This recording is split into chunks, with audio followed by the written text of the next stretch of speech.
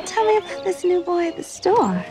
Hey, what's your favorite song on this? You don't know what love is. I am not answering that. Is he cute? I didn't really notice. That much.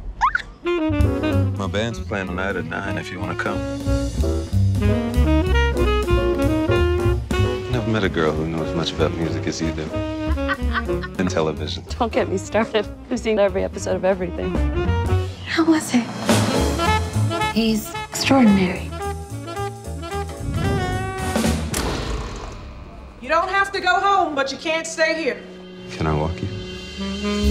Life's too short to waste time on things you don't absolutely love. But how do you know if you love something absolutely? I guess when it's the only thing that matters. The band got offered a gig in Paris. Come with us on tour. I'm afraid I can't. But I think you very well could be the next John Coltrane. What are you gonna be? If this is love. WNAT Television. Calling about the assistant producer position. Are you married? Yes. Hey. Producer's assistant's not the best job for a housewife. Why should I hire you? Because I didn't know that a Negro woman television producer even existed.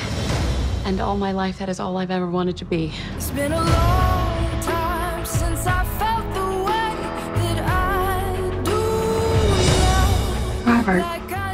Sylvie? what are you doing in New York? Recording an album. So good to see you. You too. It's been a while since I smelled You're working? You're not being a very good hostess, and what will people say? I can't be the woman of your dreams while also trying to be the woman of my own.